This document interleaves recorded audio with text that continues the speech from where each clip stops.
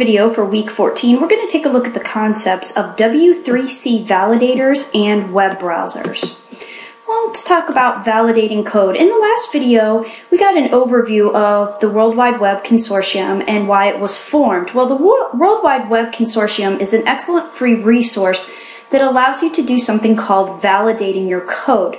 Now, when we talk about code, we'll get in more to that um, in the next video when we begin to look at HTML.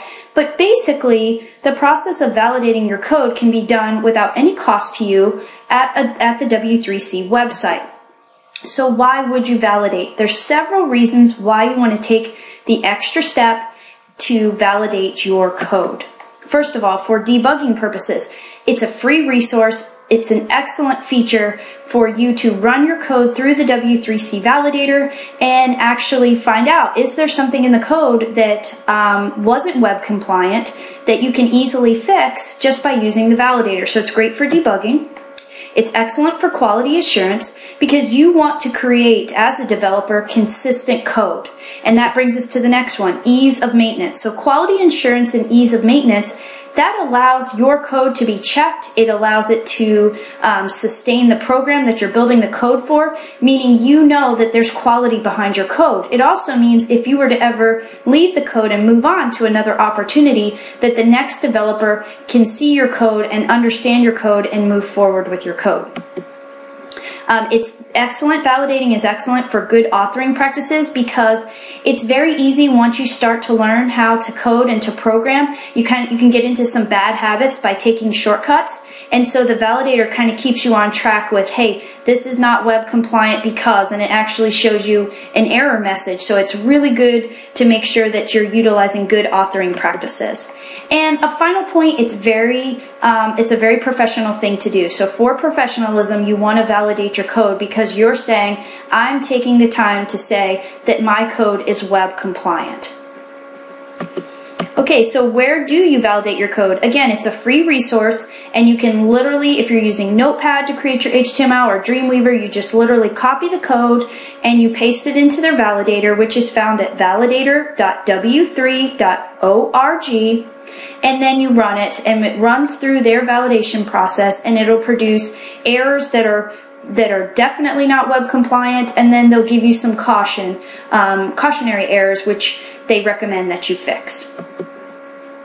Okay, on to the next topic for this video. We're going to talk about the concept of web browsers. In our first video, we um, learned about the term web browser, and that's the software that allows the user to view web pages on the World Wide Web. So we have to have a way for other people to take the web page that we've posted to a web server. They have to be able to see it and to interact with it. And we have the web standards so that we hope that um, what we do post will be consistent across different web browsers, but that's why those standards are so important. So I want to just consider the topic or the question for a second of why are there so many different web browsers? There are so many different web browsers like there are so many different car companies and computer companies and coffee shops. It's just competition and there's an opportunity to make money. There's also a reason that there are so many different web browsers because companies such as Google and Microsoft and Apple their products have a proprietary nature to them. So even though they're following web standards, they're also going to have some things that make them unique. Obviously, if you took, take a look at the Safari browser as opposed to the Google Chrome browser, you're going to see definite differences. And even how they render the web pages are going to be slightly different. But there are some things that they are, are consistent about because of the W3C, because of the World Wide Web Consortium. But there are so many different browsers because there are so many different business opportunities and um, software companies that have the ability to bring those web browsers to the market. So which browsers are most commonly used? The one that'll probably come to your mind is the one you use most frequently. If you use Internet Explorer, you're going to think that, or Safari, um, or Google Chrome. W3 Schools and 3 million sites. These are two websites here that I've posted for you that you want to click on and take a look and they'll actually give you stats on which browsers are most commonly used. You want to be aware of that because even if you, you are an IE user, you want to make sure that you understand what other browsers are being used, even if IE is not the most popular for um, that given period. And this brings us to our next point. Which browsers should I design and develop for? And these are um, the most commonly used ones Internet Explorer, Google Chrome, Firefox, and Safari. You want to develop your code so that they come up fairly consistently across these four types of browsers because that's what folks are using the most.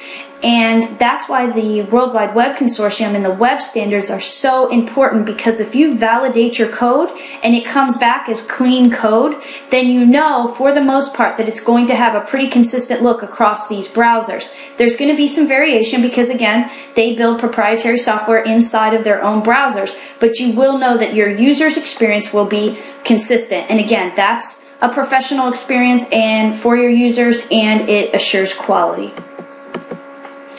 So there's a concept called the Web Standards Project. And the Web Standards Project is based on W3C standards and it offers easy to digest and understand content related to web standards. So you definitely want to take a moment and check out the Web Standards Project, especially as you're building your vocabulary um, related to the World Wide Web. There's another concept called acid tests, and in a later video, um, in a later slide, you're going to take a look at the history, watch a video on the history of Internet Explorer, which is really neat because it shows you how their browser has evolved. And the gentleman on the video is going to talk about acid tests, and these are a series of test pages that are written to help browser vendors such as Microsoft, such as Google, ensure proper support for web standards in their products. So you'll hear him mention different versions of Internet Explorer failed certain acid tests because what the um, browser developer company does is they create these acid tests to test their browser product against the W3C standards, against the web standards, and then once they know it's functioning at that level, then they can add their um, their niche or their proprietary software or whatever to make it their own, to brand it to be their own. And you can take a look at more information about acid tests at acidtest.org. Okay, so um, you'll definitely want to watch the history of the Internet Explorer video, and you'll want to watch a really neat um, video about Firefox, and you'll see just how the two different companies approach the concept of web browsers.